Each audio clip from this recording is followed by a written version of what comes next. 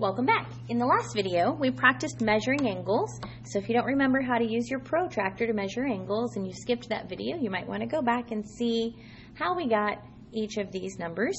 So I can see here I have a transversal and it's crossing two lines and I went ahead and measured and found all of the angles. And then we did another set, again, where we had one line, a transversal, crossing two lines, and we measured the four angles at each intersection. And then here again, the same thing. We have one transversal crossing two lines, and we measured the four angles at each intersection. And then we did it one more time. We had one transversal crossing two lines, and we measured the four angles at each intersection. And so these are the results of the four sets of angles, or really four sets of lines that we measured angles for. And so now I want to look and see if there's any patterns. If I notice, I have some markings on two sets of the lines. And if you remember from the lesson from Monday, these little triangles tell us that these lines are parallel. Whereas over here, my lines that have been crossed are not parallel. First thing I want to do is I want to compare my vertical angles on these lines that are not parallel and see if there's a relationship. Okay, so when I look at my vertical angles, if I start with these two, 120, 120, they're the same. 60 and 60, they're the same. 96, 96, they're the same. 84, 84, they're the same. 17, 107, 107, 73, 73, 99, 99, 81, 81. So my vertical angles, it says what is the relationship. I can see they're always congruent. They always have equal measures.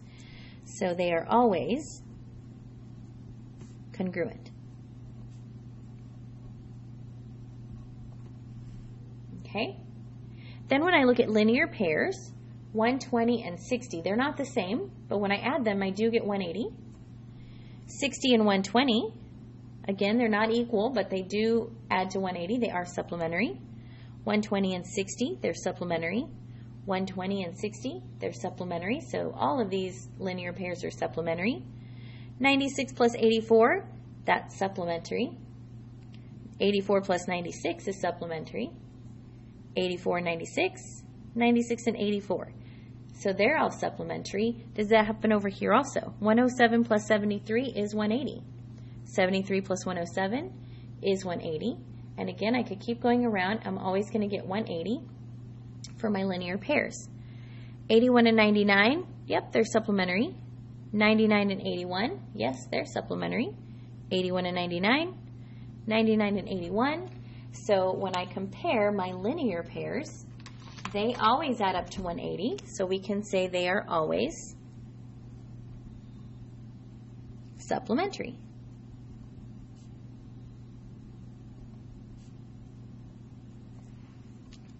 Okay? So now it says to compare my corresponding angles. I'm going to zoom in so we can do this. I think I'm going to zoom in so we can do this so I can see them a little bit better. All right, so my corresponding angles, remember, means that they are in the same position at different intersections. So for example, if I'm at this 120 right here, at this angle, then the corresponding angle would have to be down at this intersection because this one's at the top one, so this one will be at the bottom one. This one's in the top left, so when I look at the top left, it's going to be right there. Okay, so those are my corresponding angles. One is 120, the other is 96. So they're not equal. They don't add up to 180. They add up to, let's see, 120 and 96.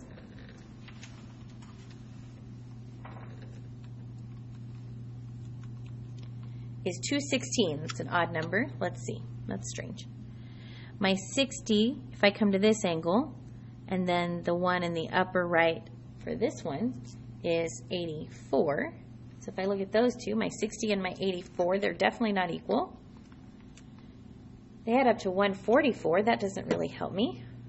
Okay, so then let's look down underneath. My 96 and my 120. We already looked at 96 and 120 when we looked here. Not really a relationship. And then when I look here, I don't see a relationship. Let's check. Maybe it's just this set. Let's come over here. 107 and 81, right? They're both in the upper left-hand corners. 107 and 81, that doesn't add up to 180. It's not equal. 99 and 73 doesn't seem to have a relationship. 81 and 107, that's like 188. No. 73 and 99, that's like 172. So no, that doesn't help. So it appears there's no relationship between corresponding angles.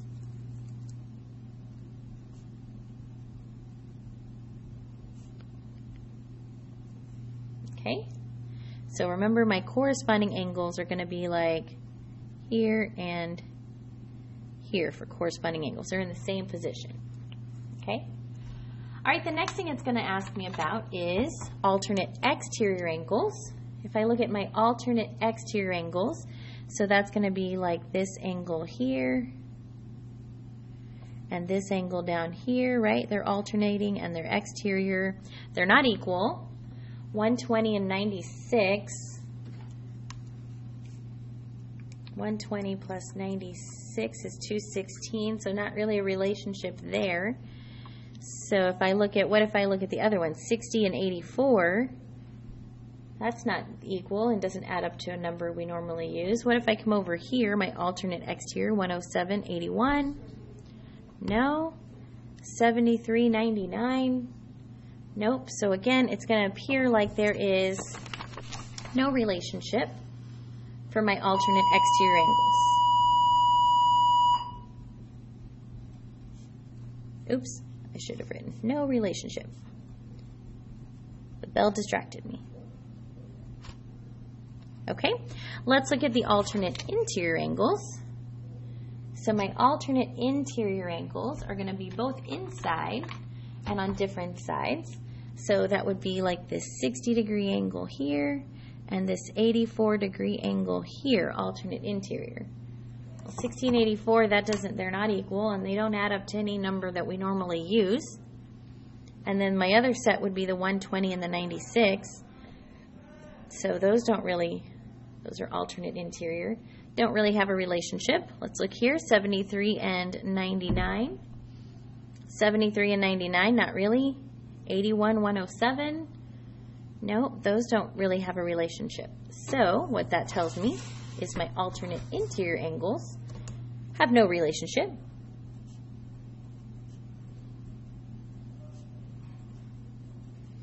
All right, so lastly, let's see if there's a relationship in my same side interior, which remember we also call consecutive interior. So that's going to be my two angles inside my two lines, not the transversal. And then it's going to be on the same side of the transversal. So let's say I have these two lines. This is my transversal, so it's going to be on the same side so that it could be both the angles underneath, and it has to be inside my two angles. So that would be like the set 107 and the 99, which no, that's like 206, right? So that's not going to work for me. What about the top ones, the 73 and the 81? No, that's not going to work. What about over here, 120 and 84? They're not equal. They don't add up to a specific number. 60 and 96. Nope, those don't really either. So there's no relationship with my same side or my consecutive interior angles. No relationship.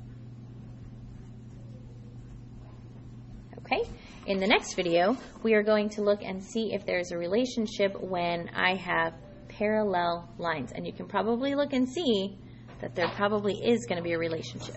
Okay, spoiler alert. Thank you so much for watching.